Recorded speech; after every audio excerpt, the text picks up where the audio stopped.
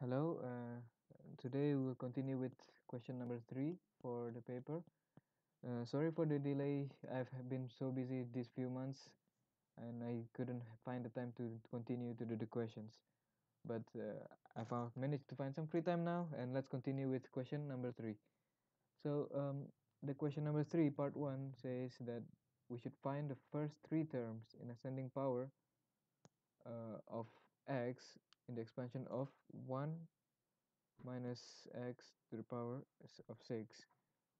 Um, there are several ways of doing this and there's um, there is one easy way that I could think of but let's uh, go with the general uh, method and that is that it is equal to the sum from r to from from 0 all the way to n uh, where n is the index which um, of the binomial expansion and in this case is 6 so ncr I forgot what this is called and uh, multiplied by a to the power n minus r times b uh, to the power r.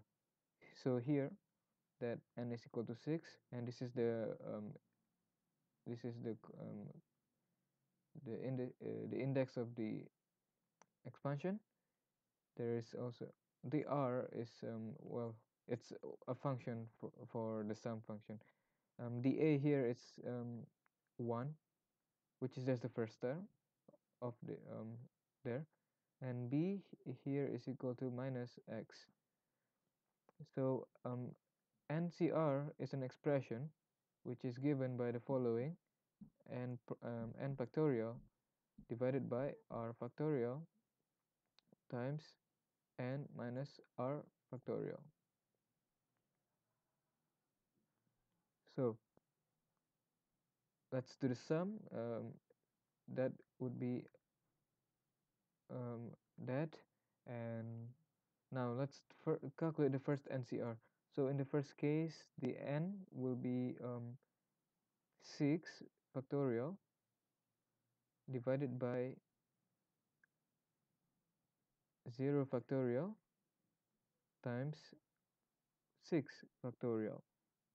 And that's multiplied by a which is 1 to the power n minus r n is 6 and r is equal to 0 so um, 6 times b to the power r which is 0 and that is equal to um, that 6 factorial divided by 6 factorial 1 and 0 factorial is just 1 and so it's, it's this is just 1 and that is um, plus the second term is now still 6 factorial because it's n and doesn't change here. And r now is 1 now we're moving on to the next term so it's 1 factorial times n 6 minus um, n minus r which is 6 minus 1 which is 5 factorial 5 factorial and that multiplied by 1 this time is to the power 6 minus 1 so 5 times b to the power 1 uh, well in this case b is equal to minus x so let me just delete that. So b is equal to uh, minus x. And in the previous case it was also minus x but it's to the power 0 so it's just 1 so and 6 factorial divided by factorial 5 factorial that is just 6 6 times 1 to the power 5 1 so 6 times minus x that gives just minus 6x okay and finally the final term of uh, well the third term is given by 6 factorial divided by this time it will be 2 factorial because now r is equal to 2 and now it's n minus r that will be five, um, 6 minus 2 4 factorial times now 1 to the power 4 now that n is equal to 6 minus 2 so it's 4 and minus x this time it will be to the power oh that the previous one was to the power 1 so now it's to the power 2 and so this will be 6 factorial divided by 2 factorial um, 6 factorial divided by 4 factorial. That will be 20 20 divided by 2 factorial. That will be 5 that that should be 5 yes. That um so 6 factorial 6 times 5 actually no. 6 factorial divided by 4 factorial the 4 factorials cancel that will give you 6 times 5 30 30 divided by 2 15 15 times x squared. And so that means that the, the first three terms of the expansion it is 1 plus oh or minus 6x plus 15x squared. Okay and that's the answer for part A and you would follow this very similar um, actually it's a very similar process in um, part B but for your benefit and since because I'm just uh, because I'm just doing one question I'll just do that for you as well. So let's clear this page page and we'll do that over all over again. So here it's 1 plus 2x plus uh, to the power 6 and here here n is still 6 a is equal to still 1 and but b here is 2x positive 2x so um, remember the formula and that's from r is equal to 0 all the way to n and ncr and that's multiplied by a to the power n minus r and b to the power r. So uh, let's do that. So so um, the first term is n to, um, or and remember ncr is equal to the following n prime to the power uh, over r, r prime n minus r prime.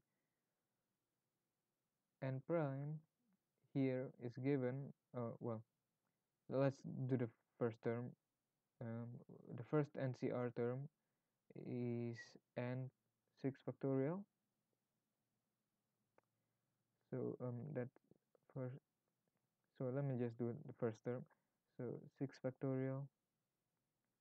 Um, well I can just delete this because um, that's they'll just get in my way. 6 factorial divided by 0 factorial and x factorial it's uh, just repeating the same thing actually. Uh, yeah uh, that's multiplied by 1 to the power 6 and 2x to the power 0 so that's just 1 and the second term now is still 6 factorial divided by 1 factorial.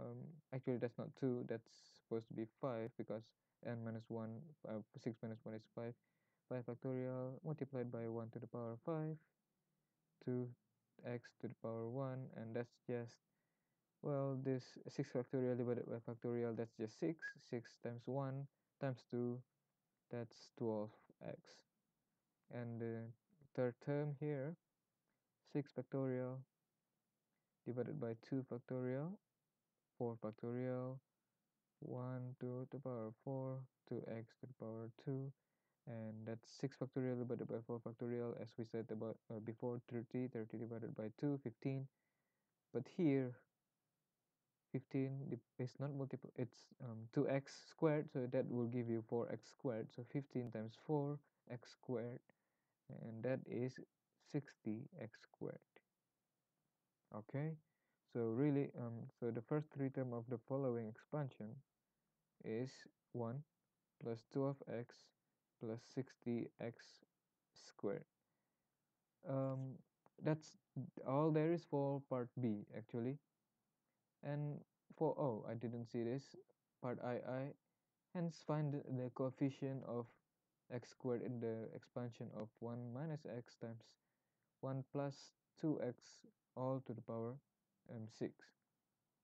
Okay um, let me just write uh, I don't really remember I think the first for the previous part of the question that's 1 minus x to the power 6 um, if I'm not mistaken it was 1 minus 6 x is it plus 15x squared? Um, yeah I think so. I'm not too sure. But actually let's just do, do a quick just do, do that quickly. So the second um, well we know the first term would be 1 and the uh, second term would be uh, 6 over over 2 well the second term will be 1 5 6 and 1 to the power 5 oh well actually it's still LG 5 and minus x that will be 1 and so yeah it is actually minus 6x and the second term will be 6 prime 2 prime 5 4 prime 2 uh, 1 to the power 4 and multiplied by minus x squared and that actually is 15 15 for x squared. So yeah um, that's right so let's just delete um, delete these and leave those two at the bottom because we will need them. This is actually um, if you're not used to this it, this part of the question might be very tricky. So it says it's 1 1 minus x 1 plus 2x all to power 6 now you shouldn't try to expand the first um, the the things inside the bracket because they'll just give you a, a lot of trouble. But instead use the following law um, the exponent law that will give me 1 to the power uh, 1 to the power x and that's multiplied by it's just that's just the law of the thing. So if you have a b all to the power n and that's just equal to a n squared times b n squared. Uh, just just a side note in case you didn't know that. Um, there was a reason why they did they asked us to define the first three terms of um, in the previous question. So we can use them in this um, part of the question. That's why there is the word hence okay? So let's just use the results from the previous equation. So we know that the first three terms of the first term here is 1 minus 6x plus 15x squared. That's from the first um, part from part A and multiplied by the first three terms of those 1 minus well actually that's plus 12x plus 60x squared. Now you might think that actually there is more to this than the previous uh, than these. Uh, it, that that shouldn't be just three terms that should be actually six terms.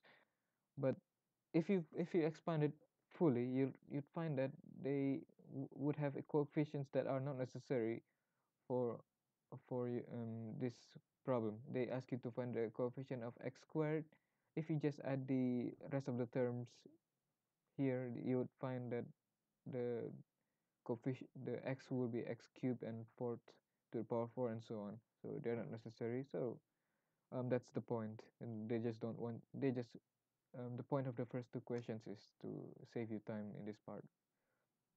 But anyways um, if you have um, you might be confused with my explanation so you can just ask me in, in the comment section and I'll provide an, my email for you to ask me about that, that question or any other question. But anyways let's go on.